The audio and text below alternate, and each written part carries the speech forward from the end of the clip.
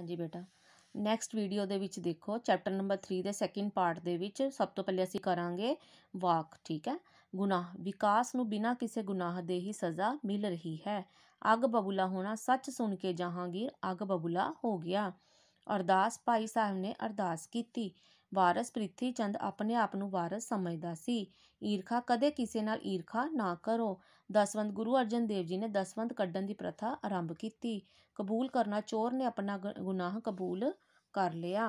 ਉਸ ਤੋਂ ਬਾਅਦ ਦੇਖੋ ਬੇਟਾ ਕੁਐਸਚਨ ਆਨਸਰ ਮੈਂ ਸਿਰਫ ਆਨਸਰ ਆਨਸਰ ਕੀਤੇ ਆ। ਕੁਐਸਚਨ ਤੁਸੀਂ ਬੁੱਕ ਦੇ ਵਿੱਚੋਂ ਕਰੋਗੇ। ਹਰਮਨ ਦੇ ਦਾਦਾ ਫਸਟ ਕੁਐਸਚਨ ਹਰਮਨ ਦੇ ਦਾਦਾ ਜੀ ਨੇ ਹਰਮਨ ਨੂੰ ਗੁਰੂ ਜੀ ਦੀ ਸ਼ਹੀਦੀ ਦਾ ਕੀ ਕਾਰਨ ਦੱਸਿਆ? ਹਰਮਨ ਦੇ ਦਾਦਾ ਜੀ ਨੇ ਹਰਮਨ ਨੂੰ ਗੁਰੂ ਜੀ ਦੀ ਸ਼ਹੀਦੀ ਦਾ ਇਹ ਕਾਰਨ ਦੱਸਿਆ ਕਿ ਗੁਰੂ ਜੀ ਸੱਚ ਦੀ ਰਾਹ ਤੇ ਚੱਲਣ ਵਾਲੇ ਇਨਸਾਨ ਸਨ, ਠੀਕ ਹੈ?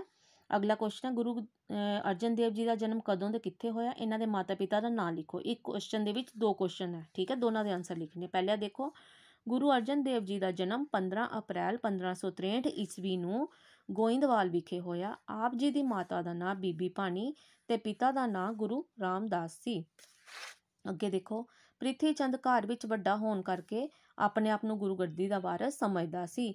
ਅਗਲਾ ਕੁਐਸਚਨ ਹੈ, ਗੁਰੂ ਅਰਜਨ ਦੇਵ ਜੀ ਨੇ ਕਿਹੜੇ-ਕਿਹੜੇ ਮਹਾਨ ਕੰਮ ਕੀਤੇ? ਗੁਰੂ ਅਰ- ਅਸੀਂ ਕੁਝ ਉਹਨਾਂ ਦੇ ਵਿੱਚੋਂ ਲਿਖਾਂਗੇ। ਈਜ਼ੀ ਵਾਲੇ ਤੁਹਾਨੂੰ ਮੈਂ ਕਰਵਾ ਦਿੱਤੇ ਆ। ਪਹਿਲਾ, ਹਰਿਮੰਦਰ ਸਾਹਿਬ ਦੀ ਉਸਾਰੀ ਕਰਵਾਈ। ਗੁਰੂ ਗ੍ਰੰਥ ਸਾਹਿਬ ਦੀ ਸੰਪਾਦਨਾ ਕੀਤੀ। ਤੀਸਰਾ, ਦਸਵੰਧ ਕੱਢਣ ਦੀ ਪ੍ਰਥਾ ਆਰੰਭ ਕੀਤੀ। ਬੇਟਾ ਇਹ ਕੰਮ ਤੁਸੀਂ ਸਾਰਾ ਆਪਣੀ ਕਾਪੀ ਤੇ ਬੜੇ ਹੀ ਸੋਹਣੇ ਢੰਗ ਦੇ ਨਾਲ, ਸੋਹਣੀ ਹੈਂਡਰਾਈਟਿੰਗ ਦੇ ਨਾਲ ਕਰਨਾ, ਠੀਕ ਹੈ? ਓਕੇ ਬੇਟਾ